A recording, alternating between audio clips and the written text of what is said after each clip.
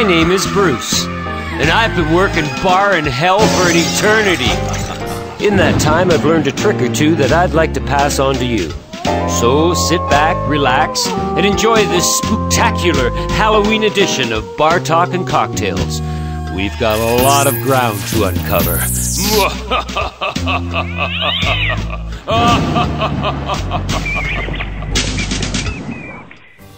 Good evening.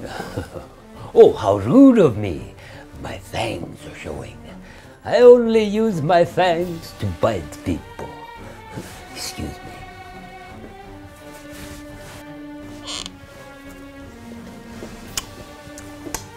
Much better. I am Dracula. Welcome. But originally I was Vlad III, Prince of Vlachia. Many have nicknamed me Vlad the Impaler. You might know me better as Dracula, meaning son of Dracul.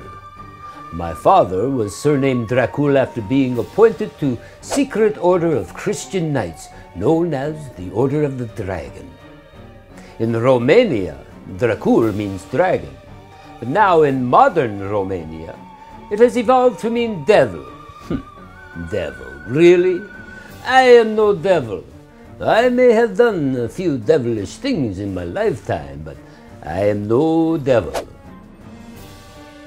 I was a leader, a defender of the Christian faith, a Romanian hero, not a monster.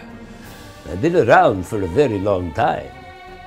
Born in Transylvania as the second son of my nobleman father Vlad II, Dracul. The year was uh, 1431, I believe. Uh, such long time ago. It's hard to remember how old I really am. Yes, it's true. I lived in time of constant war. Treachery and revenge ruled the day. That hasn't changed much, has it? you see, Transylvania was the frontier of two great empires, the Ottoman Turks and the Austrian Habsburgs. My father was called to diplomatic meeting in 1442 with Ottoman Sultan Murad II. He brought me and my brother Radu along, but the meeting was actually trap. We were arrested and held hostage. My father was released if he agreed to support Ottoman policies and under the condition that he leave my brother and me behind. Now, history reports I was treated reasonably well by current standards of time. Ha!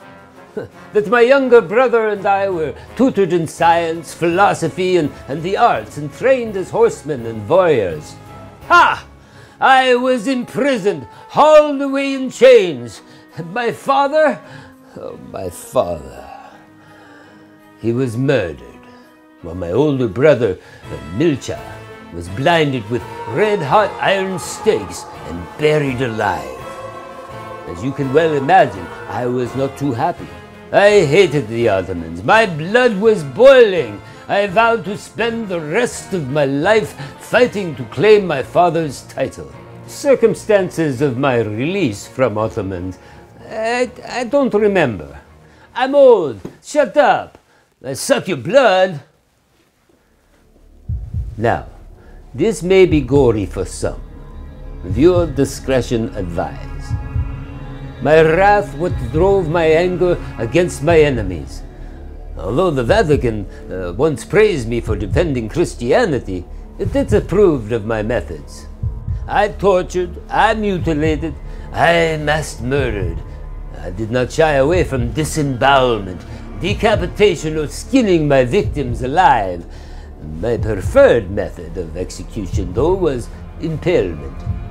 I would drive wooden stake through the bodies of my enemies and leave them to writhe in agony. This was warning to others. The bodies would remain on stakes as vultures nibbled the rotting flesh. I remember one time I had as many as 20,000 victims impaled on the banks of the Danube. And that was when the Turks advanced and halted because the Sultan could not bear the stench from the decaying corpses. that too funny. but that was a long time ago. I did especially like to set table and dine amongst the impaled bodies. I would even dip my bread in their blood. oh, yeah. Hmm. Not good. It gave me energy. Reportedly, I was killed in battle December 1476, fighting the Turks near Bucharest, Romania. My head was cut off and displayed in Constantinople. So they thought.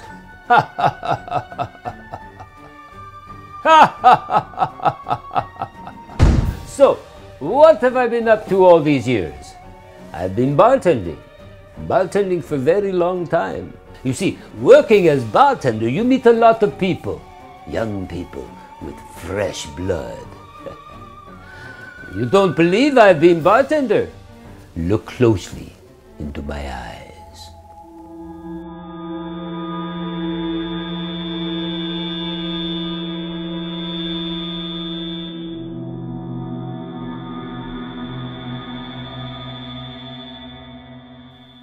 Today I thought we'd make a modern classic by an ancient.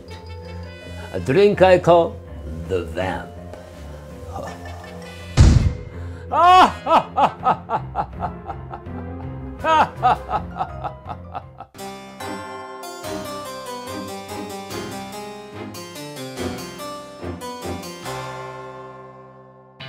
I want to make you a cocktail, the Vamp. So we first begin with a, a small piece of ginger, very small. Um, oh, an inch, two inch piece of ginger. I'm just going to cut that up right now. So what I've got here is uh, that little piece of ginger. And uh, I just cut it up, skinned it, skinned it like I uh, skinned my victims.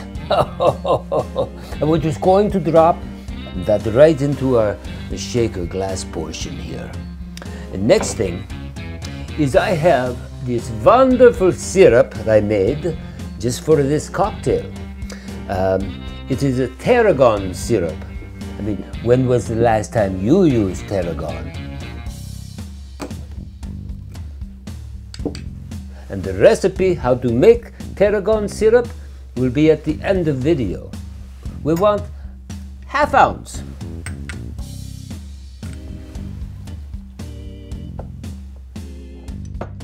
Next, we want to muddle. Muddle. Oh, I could have muddled my victims this way too. Put them in the big pot and get the big muddler, the big muddler, and muddle their heads. you want to muddle into mush. It only takes a couple minutes. That look pretty good.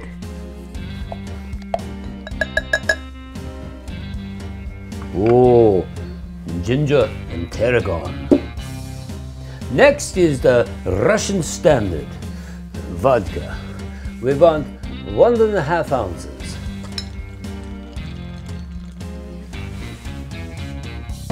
Followed by Cointreau. We want half ounce Cointreau.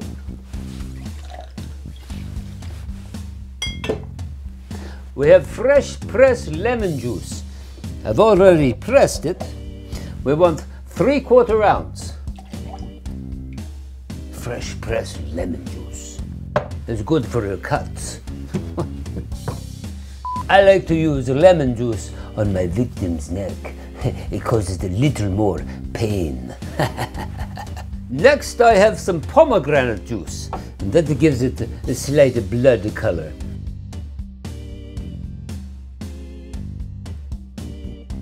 We want to add some ice.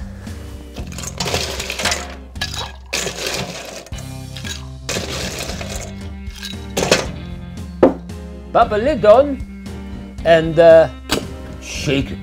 Shake it like, uh, shake it like you're quivering when you see me coming to bite your neck. A quick shake. not too long. I have a nice little cocktail glass, chilling with ice, and double strain into chilled cocktail glass. Oh yeah, that is beautiful.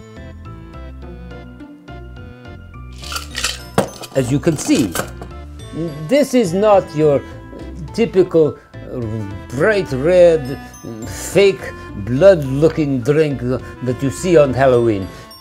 This drink is elegant. Those drinks, although they look cool, they taste like Okay, let us garnish. I have two pieces of candied ginger on peak. And I have some tarragon here, fresh tarragon, and we take sprig of tarragon and we pop that into drink too. Oh yeah, how beautiful is that? Beautiful, beautiful like me. Okay, let's taste this Look at this masterpiece. I know it's going to taste good because I am a, a, a few centuries old. Oh, I get the ginger right off the bat. And thank goodness it's not garlic, eh? Ginger I'm okay with. The ginger warms the throat. warms the throat, ready for me to bite. I taste the orange, I taste the tarragon coming through very nicely, and the lemon just balances all the sweetness out. It is a beautiful thing. You make this cocktail, it is guaranteed not to suck.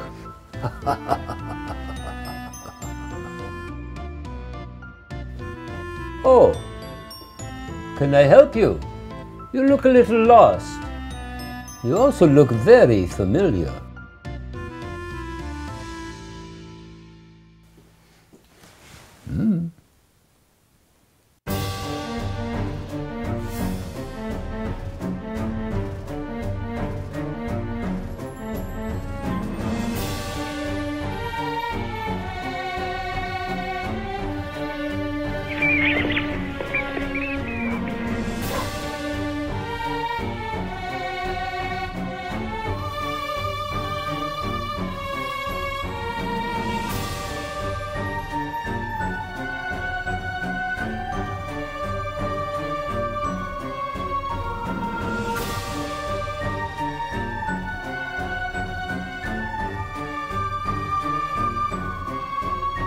I don't know what you're complaining about.